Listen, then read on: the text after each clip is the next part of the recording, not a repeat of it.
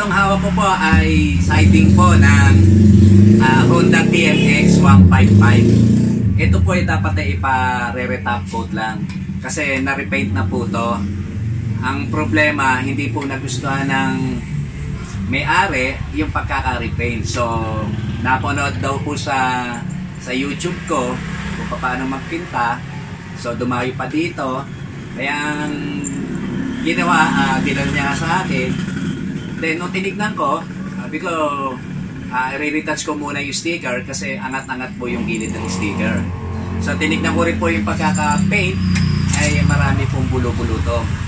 Then, sabi ko, lilihain ko muna kung wala magiging problema, so pwede na nating i-retop coat. Eh kaso nyo po, nung nililiha ko, uh, may ng mga nasaga dahil sa mga bulutong, at yung sticker po, pagkakat ko, bali ba, na-retouch ko na po yung mga sticker, kinat ko na po, medyo maganda na siya, at hindi na po angat yung edge niya. Ang problema, nung re-retouch ko na po yung color red sa mga nagkaroon ng damage, so nilagyan ko ng masking tape yung sticker para hindi madamay sa aking pag-retouch ng red. So ang kaso, nung inangat ko yung masking tape, sumama po yung sticker, pati po yung dating pintura. So hindi po maganda yung kapit o yung pagkakapinta. Maaring baka hindi nalagyan ng primer o hindi magandang primer po yung ginamit. So di ang ginawa ko po ay tinuluyan ko na pong bakbakin. So pakikita ko po sa video kong ito. Ito po ay nalagyan ko na po to ng Gilder Epoxy Primer Gray. Bago ko po ito pinintahan o binugahan ng Gilder Epoxy Primer Gray, pagkabakbak po, niliha ko po na 120 grit uh, wet sanding po na mayroon pong Joy Dishwashing Liquid para matanggal po yung langis-langis niya at para magasgas po para kapitan po ng primer. Meron po mga plastic primer, no? Nakagamit din ako ng araw niya. Kaya lang medyo mahal ang presyo. Kaya ako naging panatiko ng Gilder Epoxy Primer kasi way back 90s kasama ko na po ito sa aking pagpipinta. Hindi po ako napahiya dito. Hindi ko po ito i-promote o nag-sponsor po sa akin ng Gilder. Ito lang po ay sinesend ko sa inyo. Kasi po talagang hindi po ko ipinahiya ng Gilder Epoxy Primer Gray. Kwento lang po ng konti kasi meron po akong choppy nung araw. Motor po na maliit yung ano lang uh, 80cc o 50cc no then dalawang klase po yung tapalodo niyan dalawang tapalodo lang naman po yun eh isa sa harapan isa sa likuran at merong uh, cover na sa may harapan do sa cover ng carburetor so bali uh, tatlong piraso nga ba? Tama tatlong piraso po yung plastic. Dalawang klase po ang plastic niya isang flexible at isang fiberglass. Yung flexible na plastic kahit anuhin nyo po ng strip sole o paint remover hindi po siya nalulusaw. Kung i-compare ngayon sa mga lumalabas na fairings ng motor, puro hard plastic. So, hindi po siya magitang gamitan ng paint remover, nalulusaw po siya. Kung meron mang hindi nalulusaw, pero kalimitan po, nalulusaw. Ito po, ang kagandahan po dito ay katulad din po na sa Chappy. Ayan, no? flexible din po siya. Hindi po siya uh, kaya lusawin ng paint remover. Pero hindi ko na po ginamitan ito ng paint remover dahil nung pagbakbak ko, ginamitan ko lang po ng paleta ay umubra na po siya. Pagka bakbak ko po, didiha ko nga po ng 120, sinabong ko po ng joy dishwashing liquid. Then nung nasigurado ko kung malinis na malinis na, ay pinunasan ko po ito ng urethane thinner. Ayan, pinunasan ko po yan. Then, pagkatuyo, binugahan ko na po siya ng Gilder Epoxy Primer Gray. So, ito na po yung resulta niya. Unang buga po niya ay viscot lang. Medyo paambol lang, manipis lang. Para gumanda po ang kapit. Then, second coat, semi-full coat na po siya. Then, bago po natin i-third coat to, gumaspang na po yan. So, meron tayong mga mamasilyahan po dyan. Katulad po nito. Ayan. Mamasilyahan ko po yan ng body filler. Ito nga po, ito. Pati ito, ito meron din po ito. Ayan. So, ayan.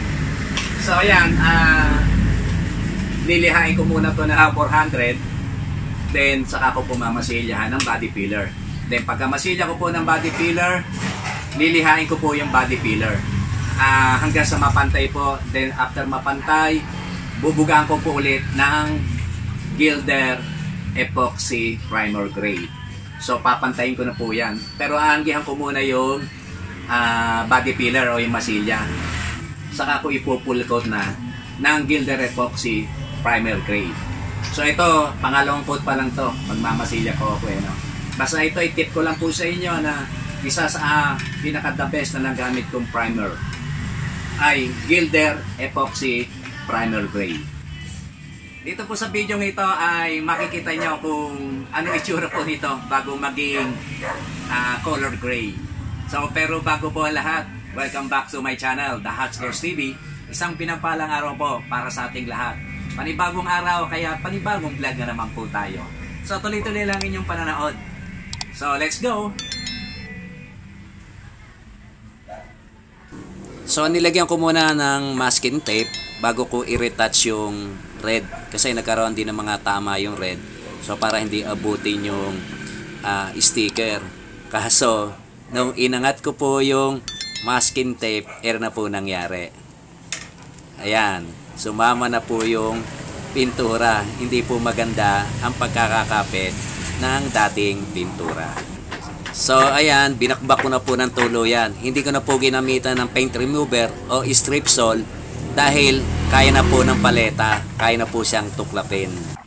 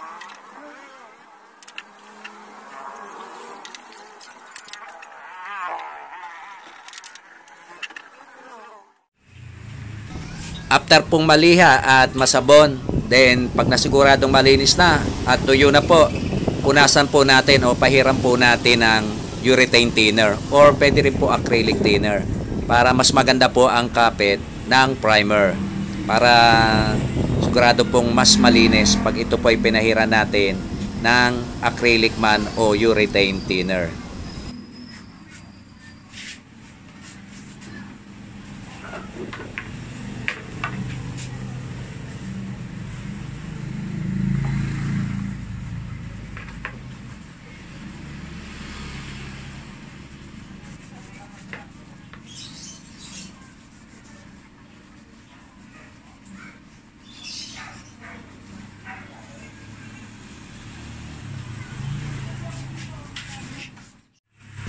After po mapahira ng thinner, ah, bubugahan na po natin ito ng primer. Ang gagamitin kong primer ay Gilder Epoxy Primer Gray. So hindi ko na lang po na, naipakita kung paano ko po ito tinimpla. Ang ratio po niyan ay 3 parts po ng base, no, yung primer, then 1 part ng catalyst at 4 parts ng acrylic man o urethane thinner. Then haluin po nating mabuti. Bago po natin ah, isalin sa spray gun ay mas mabuti pong salain po natin para yung mga madumi ay masala po at hindi po sumama sa pintura. Kapag ito po ay atin ang ibinuga.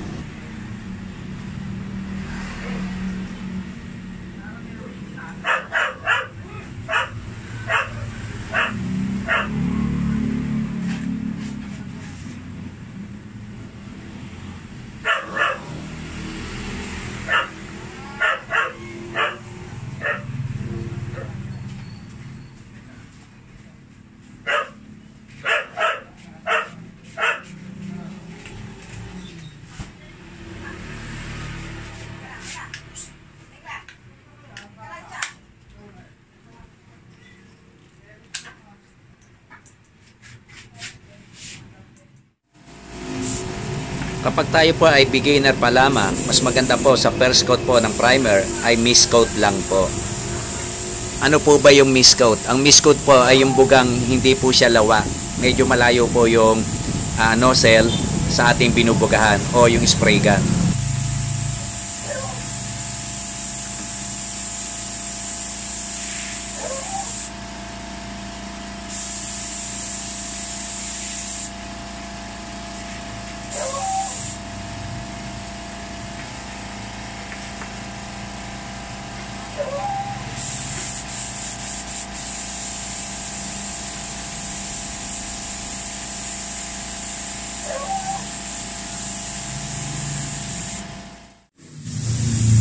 Patuyuin po natin ng mga 15 to 20 minutes para mag-plasok. Then, apply na po natin ng second coat.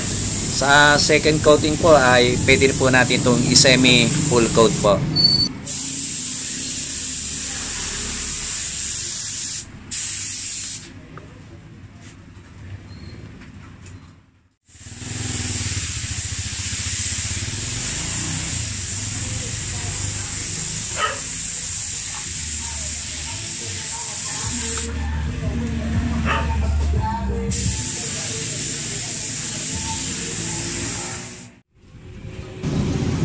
After pong mabugahan ng second coat ng Gilder Epoxy Primer Gray, tingnan po natin yung ating binubugahan kung meron po mga tama o yung malalalim na portion. Kung meron po, lihain po muna natin ng 120 or 400. Then, masilyahan po natin ito ng body filler. Magtimpla lang po tayo ng tama lang sa ating paggagamitan. Kasi po, pag pinagsama nyo na po yung dalawang component na yan, ay madali na po siyang tumigas. So, masilyahan lang po natin yung mga tama.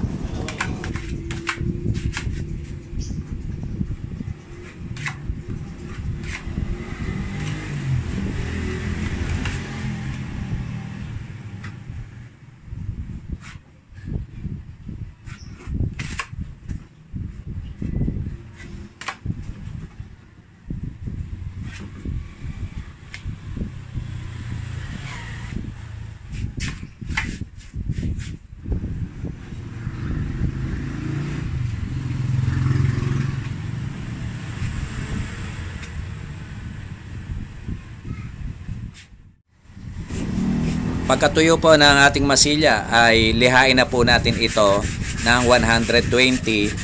Lagyan po natin ng rubber o palaman na rubber yung ating lihang gagamitin para pantay po ang ating pagliliha.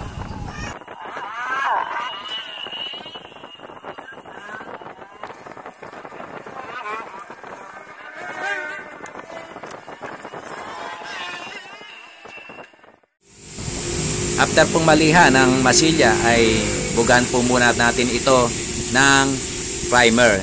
Then pagka nabugahan na po natin at pumantay na at natuyo na po ito ay applyan na po natin siya ng third coat.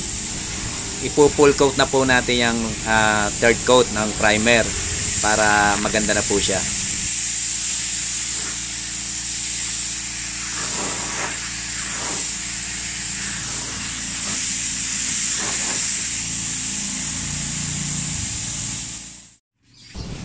Bago po natin siyang uh, i-third coat ng primer ay pasadahan po muna natin siya ng lihang 1000 grit. Ayan, wet sanding din po para pagbuga po ng uh, pan-third coat na primer ay makinis na po siya.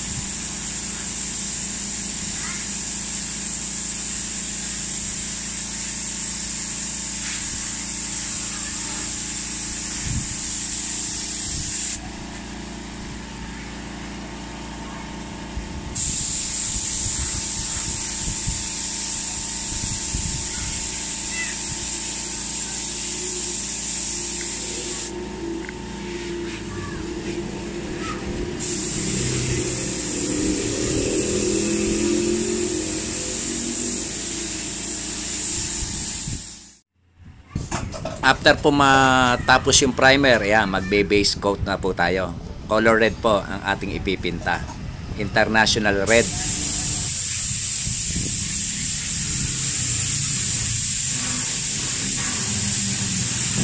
Ang ratio po niyan ay 3 parts ng urethane international red base coat at 1 part urethane catalyst at 4 parts urethane thinner.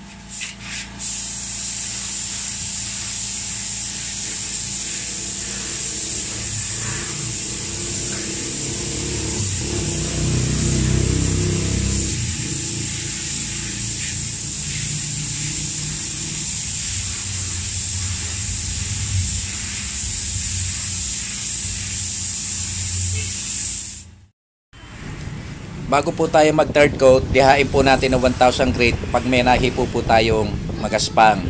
Alalay lang po ang pagliha, yung halos nakapatong lang po yung liha sa surface at wet sanding po. Alalay lang po, lalo yung sa may mga kanto, madali pong maputpod ang kanto.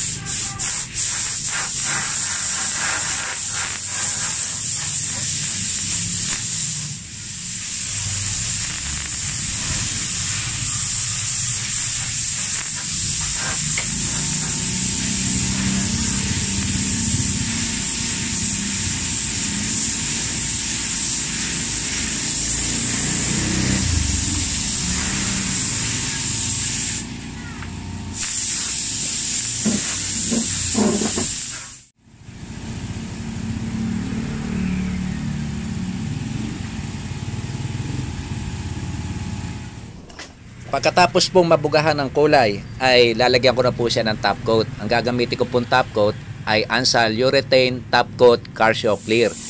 Ang missing ratio po nito ay 3 parts po ng urethane top coat car show clear at 1 part ng urethane catalyst at 4 parts ng Ansal urethane thinner.